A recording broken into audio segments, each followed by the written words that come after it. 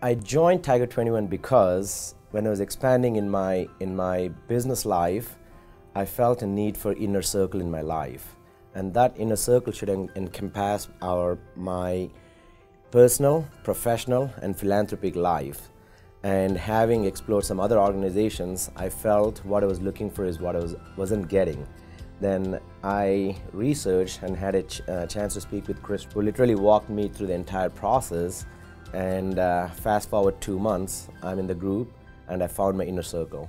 The way I describe Tiger 21 is three pillars of success. One is focusing on personal, professional, and philanthropy, and association with the top notch people out there.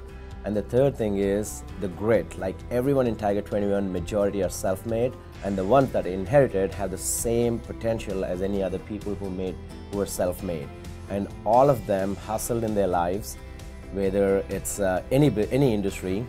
And, and also, the second thing is it's non in agnostic, I guess that's the right word. It's, it's basically, it could be any industry, and you can find people within Tiger 21. I think uh, the, the most tangible thing I can say right away is my net worth doubled ever since I joined Tiger 21 in the last two years. It could be a combination of uh, Tiger 21 influence along with all the things we built up leading up to that.